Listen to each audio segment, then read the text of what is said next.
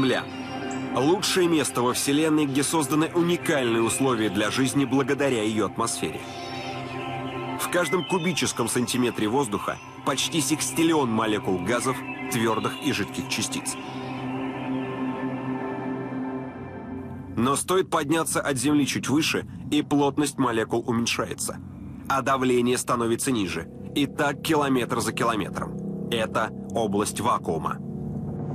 Вакуум – это э, разреженная, так сказать, атмосфера в той или иной степени. Вакуум опасен для жизни, но необходим для исследований.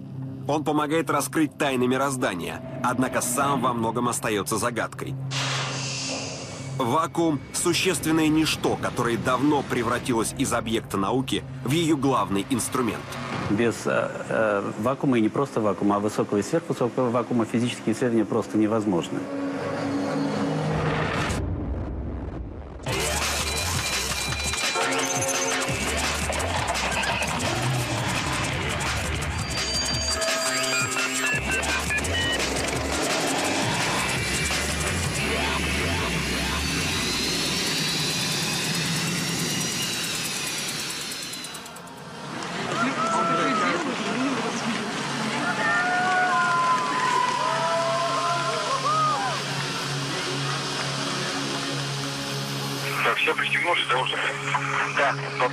Майкл готов? Да. Всегда готов.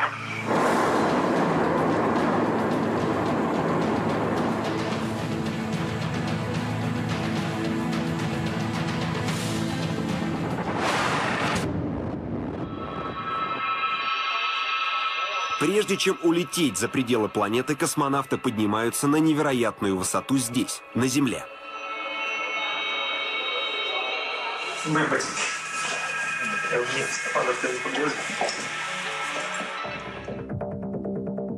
Облегченный скафандр «Сокол».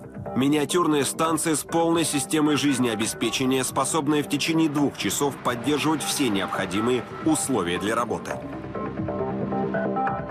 В этом защитном снаряжении можно выходить в открытый космос. Во время тренировок его заменяет вакуумная камера. Она как раз э, предназначена для того, чтобы создавать вакуум, э, соответствующей высоте там, до 100 километров, и проводить испытания наших изделий.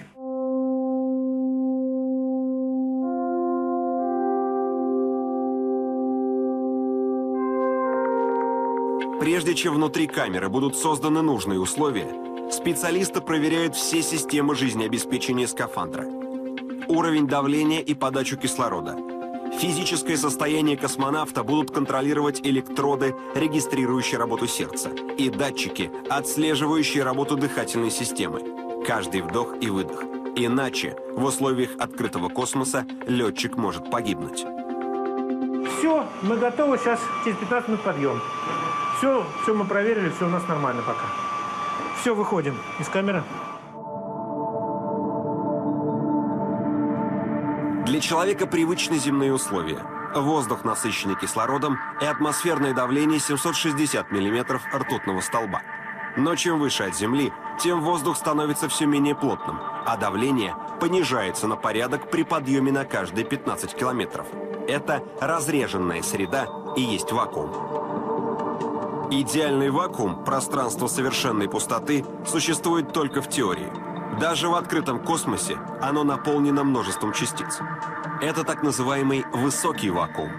Здесь в каждом кубическом сантиметре пространства сосредоточено более миллиарда молекул газов.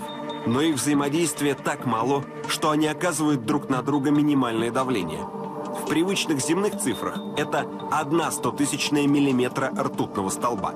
Чем ближе к Земле, тем насыщеннее становится пространство благодаря гравитации. На расстоянии 20 километров от поверхности планеты плотность атмосферы составляет уже миллиард миллиардов молекул в одном кубическом сантиметре. Но и эта цифра слишком мала. Это область низкого вакуума с давлением не более 50 миллиметров ртутного столба. Даже такие показатели критичны для человека, ведь наш организм приспособлен к атмосферному давлению в пять раз выше.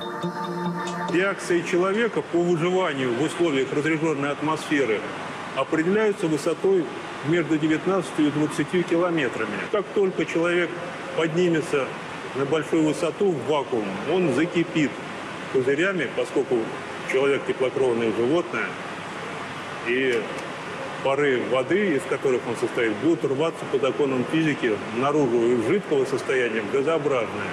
Жить человеку в условиях вакуума невозможно и 10-15 секунд. 20 минута тренировки, начало подъема. Вадим Васильевич, начать подъем барокамеры до высоты 5000 метров, скорость подъема 20 метров в секунду.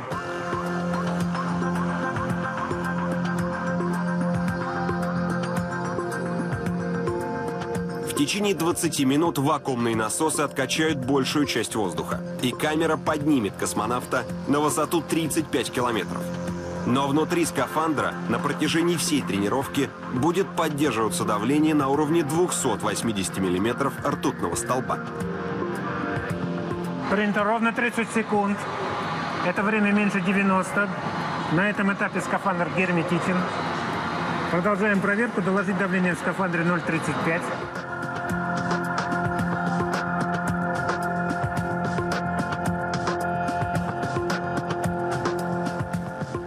Система скафандра создает внутри э, скафандра и поддерживает необходимое давление для того, чтобы человек мог находиться или космонавт внутри скафандра и выполнять всю необходимую работу, которую ему поручают. Э, Не только находиться в скафандре, но и работать на поверхности станции, э, монтировать, демонтировать различные агрегаты, устройства, проводить э, научные эксперименты на поверхности станции. Если бы человек не научился воссоздавать условия вакуума, вряд ли ему удалось бы покорить космос. Однако вакуум часто используется и для более приземленной работы. У нас в руках очень интересный объект. В этой металлической банке находится сублимированный продукт – пюре.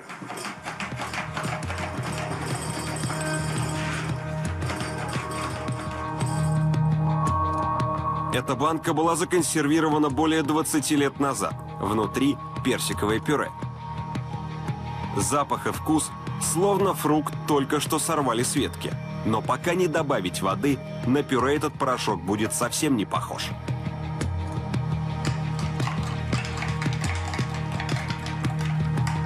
На глазах у нас продукт сухой превратился в продукт восстановленный. Я, как автор сублимационных технологий, выпью вкус персика. Я живой.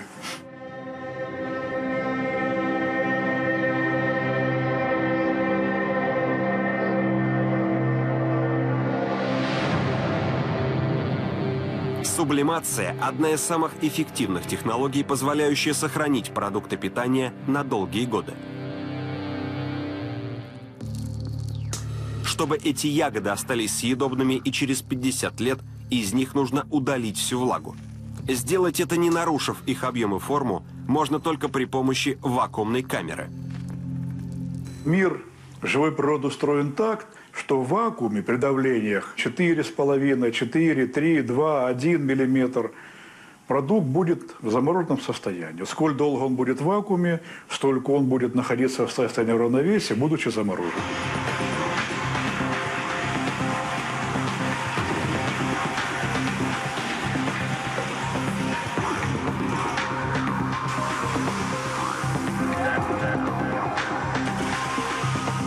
Точки зрения физики, сублимация – это переход вещества из твердого состояния сразу в газообразное, минуя жидкую фазу.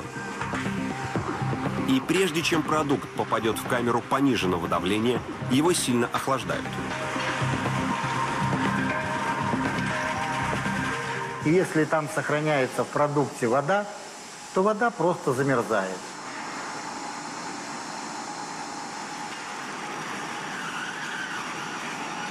Теперь промерзшие ягоды отправляются в вакуумную камеру. В ней низкая температура поддерживается без каких-либо морозильных установок. Вакуум создает самозаморозку, раз постоянно поддерживает мороз.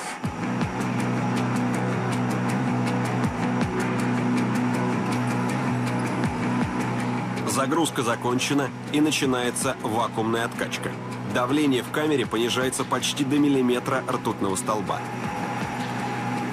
Чтобы лед в ягодах начал испаряться, только откачать воздух недостаточно.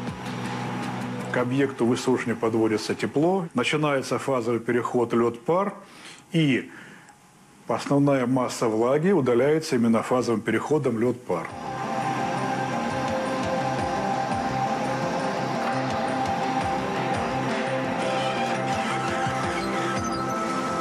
Высушенный таким образом продукт содержит не больше 4% влаги. Внешне ягоды совсем не изменились, но весить стали в 10 раз меньше. Если сушить клубнику, то в ней э, 92% воды. Остается только от 100 килограмм 8 килограмм. Если мы заряжаем 300 килограмм в камеру, то в среднем оттуда выходит 30 килограмм продукта.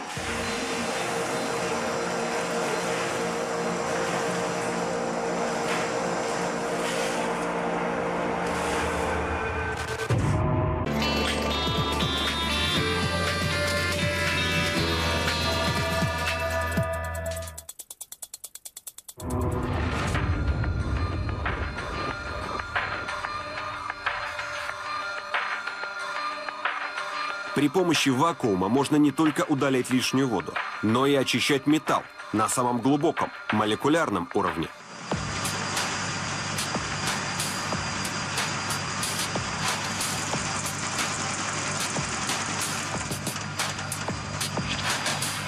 Во время хранения или приплавки металлы соприкасаются с атмосферным воздухом. Азот, кислород или водяной пар могут реагировать с металлом, создавая тончайшие пленки соединений, или растворяться в нем, образуя газовые пузырьки в его кристаллической решетке. Это приводит к тому, что внутри металла появляются трещины. Они не выходят наружу металла и обнаруживаются, допустим, ультразвуковым контролем. Вот. Но эти трещины являются очень опасным дефектом, и при нагружении металла может просто изделие сломаться.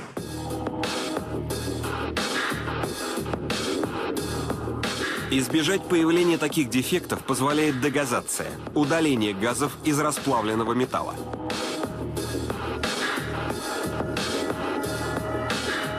Провести дегазацию можно только при помощи вакуумно-индукционной печи. Главное здесь вакуум. Провести плавку в вакууме, то есть дегазация, ну, ну, чтобы не окислился металл, не было азотирования, ну и прочие газы. Это прежде всего вакуум. В металлургии создать вакуум значит не допустить попадания к металлу лишнего воздуха. Когда печь закрывается, плавильный котел для металла еще пуст, но мощные насосы уже начинают откачивать воздух.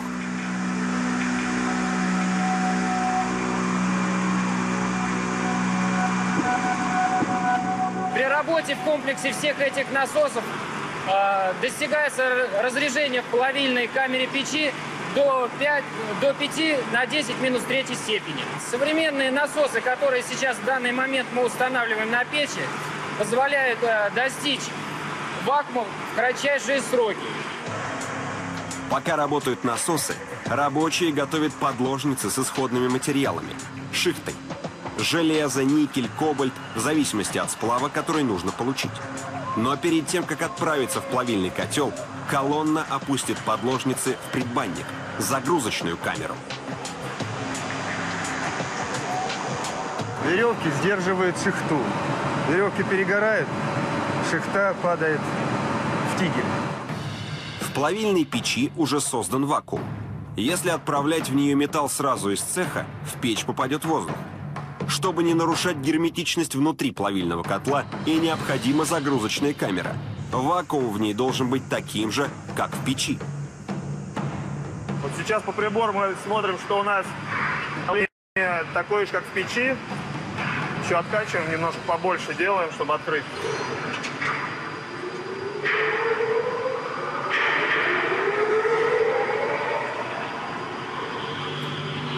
Теперь мы можем открыть затвор между котлом и камерой загрузки.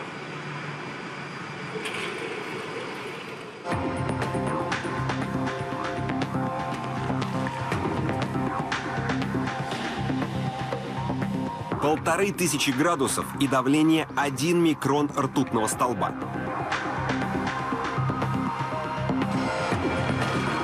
Сейчас из расплавленного металла выходят лишние газы. Процессы дегазации могут проходить и при более низком вакууме. Например, в агрегатах не внепечной обработки там давление выше, там десятки, даже сотни микрон. Но этого достаточно, чтобы удалить водород, но уже не очень для того, чтобы из металла пошел азот и происходило раскисление металла, допустим, углеродом. Как проверить, насколько успешно прошла дегазация?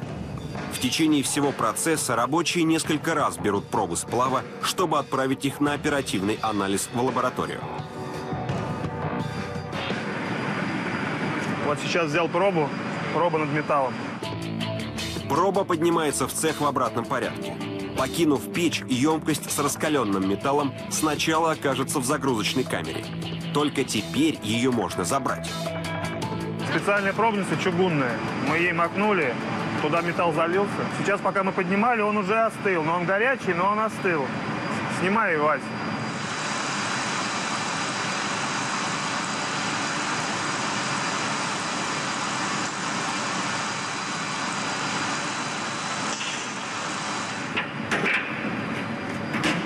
Такие пробы получаются. Сейчас их охладим и отправим в лабораторию.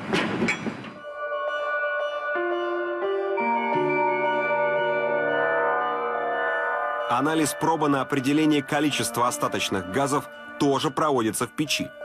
Правда, она в разы меньше плавильной. Если окажется, что либо кислород, либо водород, либо азот не в допуске, они выше допускаемого предела, тогда еще раз заказываем пробу, к нам поступает вторая проба, и мы еще раз проводим анализ газов. Если что, то тогда уже отдел технического контроля э, дальше проводит свои действия, тогда металл бракуется. Если в металлургии достаточно низкого вакуума, то для фундаментальных исследований в области физики необходим высокий и сверхвысокий вакуум.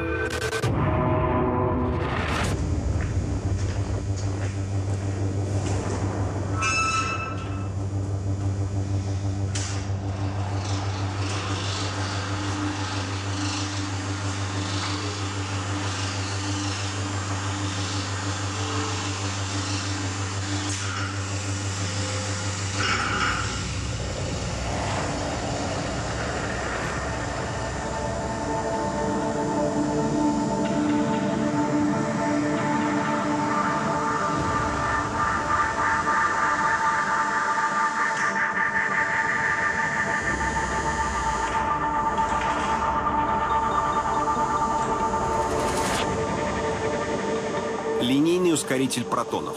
Длина 600 метров. Более 30 резонаторов, ускоряющих станций для получения высокочастотной энергии. В этой огромной установке разгоняют частицы размером меньше атома. Сам ускоритель – это как прибор, да? Он дает пучок протонов. Пучок протонов направляется на специально, вот в радиоизотопном комплексе направляется на облучаемую мишень, которой есть какой-то материал. В зависимости от того, какой материал вы ставите, там, рубидий или там серебро, или там э, сурьму, или что-то, вы получаете разного типа изотопа, которые применяются для разных, как говорится, задач.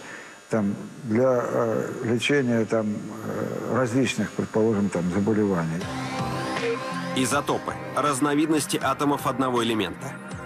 У разных изотопов одного и того же вещества в ядре имеется одинаковое количество протонов, но число нейтронов разное. От количества нейтронов зависят физические свойства атома и вещества. Радиоизотопы используются в научных исследованиях в качестве метакондикаторов и получения радиоактивных излучений. В медицине чаще всего для диагностики заболеваний. Сверхвысокий вакуум – это среда, лишенная большинства частиц настолько, что оставшийся в ней свободный атом может пролететь ее насквозь, ни разу не столкнувшись с другими частицами.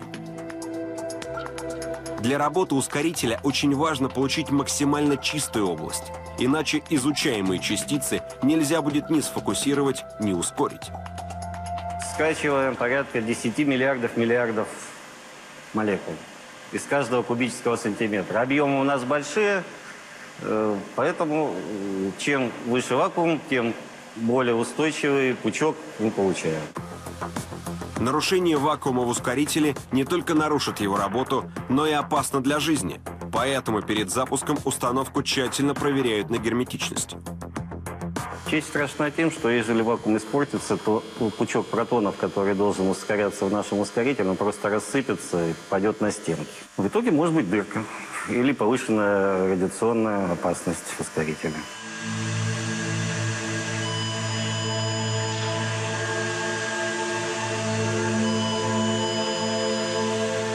Чтобы этого не произошло, установку обдувают гелием. Этот газ способен проникать даже в самые мелкие щели. А прибор чувствует течь достаточно быстро. Как только она попадается под э, струю гелия и проникает внутрь, прибор ее чувствует и определяет. Таким образом мы находим течь. После проверки исследователи запустят вакуумные насосы. Приступить к работе можно будет не раньше, чем через сутки. Объем каждого резонатора больше 10 кубометров. Чтобы понизить в нем давление до миллиардных долей от атмосферного, потребуется несколько десятков часов.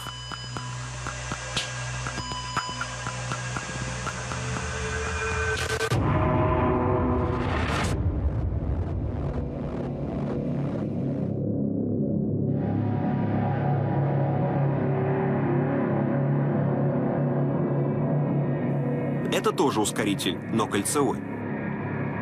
С его помощью не только изучают частицы, но и создают микроэлектронику будущего – наноэлектронику.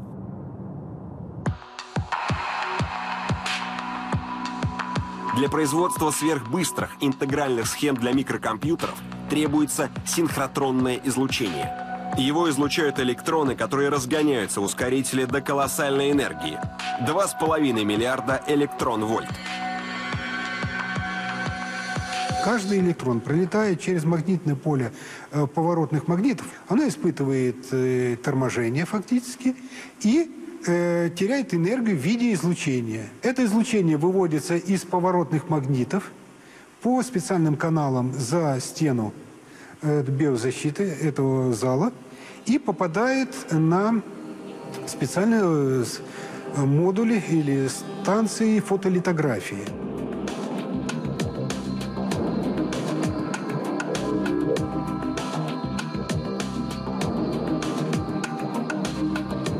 За стеной биозащиты так называемая чистая зона. Атмосферное давление в ней повышенное, воздух очищенный. Для наноэлектроники это очень важное условие.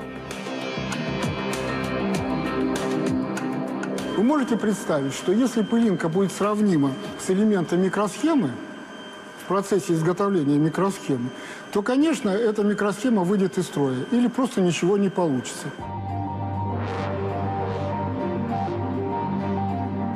Современная наноэлектроника оперирует размерами от 20 нанометров, а это в сотни тысяч раз меньше булавочной головки. Единственный способ избежать попадания пыли такого же размера в микросхемы – собирать их внутри герметичной вакуумной камеры. После того, как мы загрузили образец в камеру, нам необходимо, прежде чем его отправить дальше, сначала получить в этом объеме вакуум. Для этого мы включаем сначала скролл-насос, который располагается здесь.